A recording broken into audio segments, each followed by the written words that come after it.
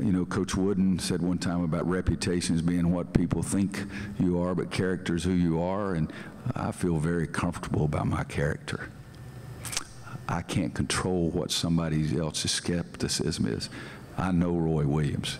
I know I've never one day in my life failed to do something knowingly that would hurt our student athletes. I've never one day in my life did something that I shouldn't have done.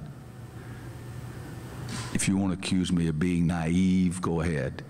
You can be as skeptical as you want. But the people that know Roy Williams knows that some of those things are being said are not fair.